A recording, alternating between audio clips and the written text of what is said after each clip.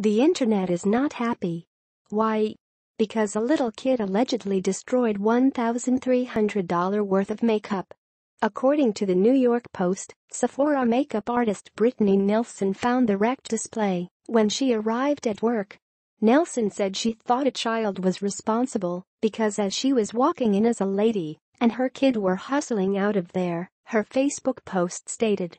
Nelson's post, which was uploaded to Extraordinary Life Makeup Artistry's page, sheds more light on the situation, claiming the child probably thought they were like finger paints and had no idea how naughty they were being.